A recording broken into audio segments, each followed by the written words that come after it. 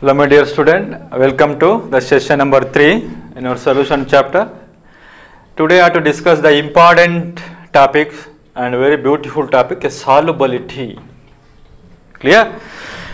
I have to study the solutions. Clear? Solution. What is meant by solution? Is a homogeneous mixture of solute and solvent. Homogeneous mixture of solute and solvent is called solution. What is meant by solubility? Let us consider a taken a one beaker and take a water is a solvent. Taken is a water is a solvent what is the, the amount or quantity of an a solvent is equal to a 1 liter. Clear? The solvent is water H2O clear? Suppose it's a solvent. Take a solute. Solute is equal to NaCl or sugar whatever it may be. Clear? Either take NaCl or sugar. First, by adding a 10 gram of NaCl, stirring, it can complete the soluble. Clear? at to add first 10 gram NaCl can be added soluble. We are adding an another 10 gram of NaCl soluble adding in another 10 gram of NaCl it can be soluble. What is the quantity of a given solvent? 1 liter. What is the solvent particular solvent? It's water. The experiment is conducted in a room temperature T. Temperature T is equal to a 25 degrees Celsius. That is the condition. The temperature is fixed 25 degrees Celsius the solvents, a particular solvent is in water and a known amount of even solvent 1 liter and add a solute either NaCl or sugar. First add 10 gram soluble, another 10 gram soluble, another 10 gram soluble.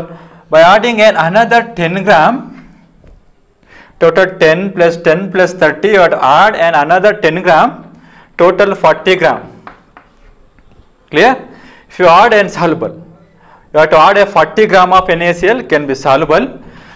But if you add more than 40 gram, suppose by adding in another 10 gram, the precipitation is takes place. Clear? Why it can be precipitate is it takes place. Clear?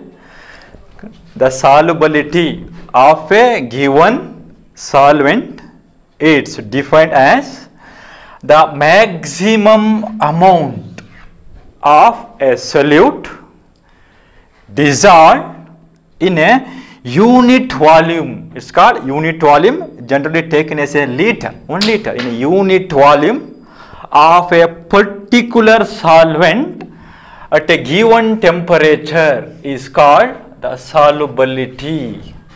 Clear? What is mean by solubility means the maximum, the maximum amount of solute dissolved in a unit volume, it's taken as a generally 1 liter of a particular solvent at a given temperature and pressure if in case of gaseous solute. That is the solubility of a solute in a given solvent. Clear? Next move on to what are the factors influencing the solubility terms? Let us consider the first term. The first factor, nature of nature of solvent and solute. That is the first parameter or the first factor to influencing the solubility of a solid in a given solvent, nature of solvent and solute. What is meant by nature of solvent and solute?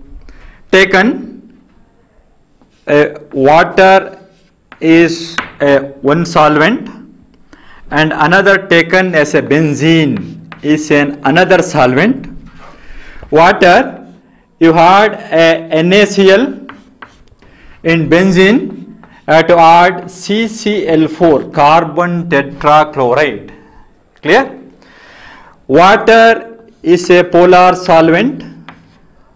Clear? And NaCl is also a polar and ionic. Benzene is an organic solvent and non-polar non-polar and CCl4 is also non-polar. Clear?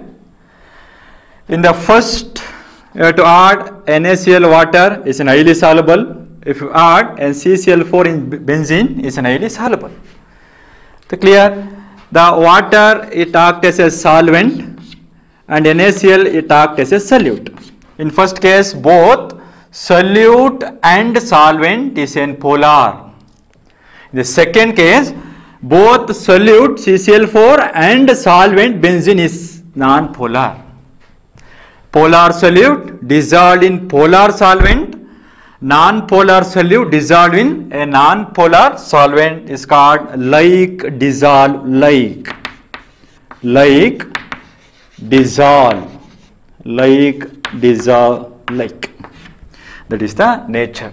The nature of solvent and solute. Polar solute dissolved in polar solvent and non-polar solute dissolved in a non-polar solvent is called like dissolve like that is the first factor affecting the solubility of a given substance in a particular solvent the nature of solvent and nature of solute. What is the next factor? The next parameter is temperature. The next factor is temperature. Before going to the discuss the the temperature term in the first PUC you have to study in thermochemistry. What is mean by an endothermic reaction? What is mean by exothermic reactions? Endo heat is, absorbed from surrounding to system. Exothermic means heat is liberated from system to surrounding. It's called endothermic reaction and exothermic reaction. Let us consider taken a beaker taken a solvent. Yes solvent.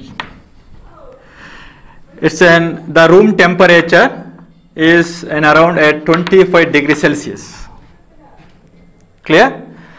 By adding a solute solute a given solute is dissolved in that solvent is an endothermic reaction assume as endothermic endothermic in nature means the heat is suppose the solute is soluble if by absorption of heat from the surrounding it's called endothermic heat is absorbed by the system to surrounding is called endothermic reaction that is the first condition if the solubility of a given solute in a particular solvent is an endothermic in nature. The solubility is increases with with increasing the temperature. That is the first point. Clear? Suppose the solubility of a given so- solute in a known amount of solvent or particular solvent is an endothermic in nature. If it is an increases the temperature increases the solubility. That is the first point. Suppose the solubility of a this solute in this solvent is an exothermic. Is an exothermic in nature.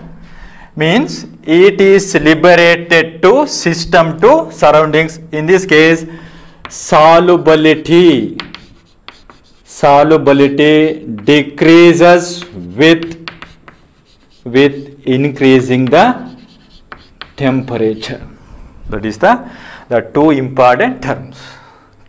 Clear? First, if it is an endothermic in nature, increases the solubility with increasing the temperature. If it is an exothermic in nature, the solubility is decreases with increasing the temperature. These are the second parameter to factor influencing the solubility of a substance in a given solvent. The another one important concept, suppose water is called as a universal solvent if ability to dissolve the maximum number of solute. The property is depends on its called dielectric constant or dipole moment. Clear? In the study in the first PUC, Dielectric constant means is an ability of a solvent or it is a capacity of a solvent to break the force of attraction between the molecules. Suppose clear? Let us taken as an example. Okay, assume on calling. Suppose this is a solute.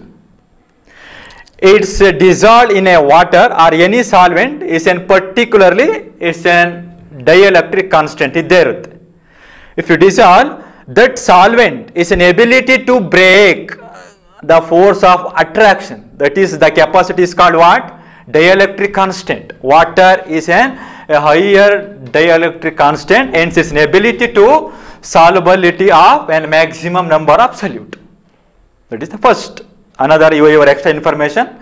Another one suppose the any solute is a dissolved in a given solvent the enthalpy of an hydration is called delta h. A enthalpy of an hydration is greater than your lattice energy. Is greater than lattice energy. It is the the solubility condition.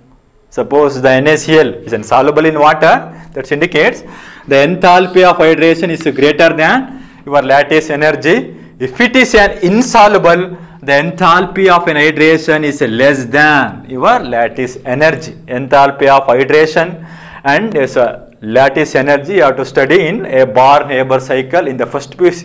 Clear? That is the another extra point.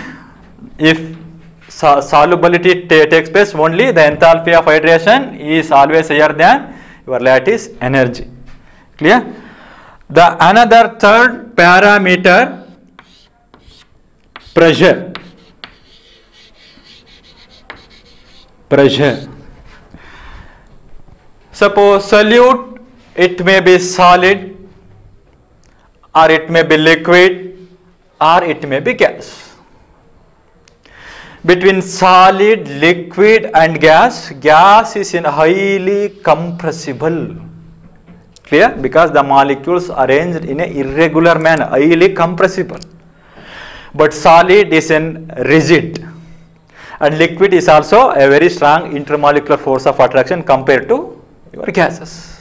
Hence, the third term pressure is effect only the solute is gas if it is an your solute is gas the third term is also affect the pressure suppose increases the pressure increases the solubility of gas in liquid but increases the pressure there is no effect of solubility of a solid solute in your a given a solvent because solid are highly rigid in nature these are the factors which affect the solubility of a given solute in a solvent, the nature of solvent and solute, the temperature and pressure.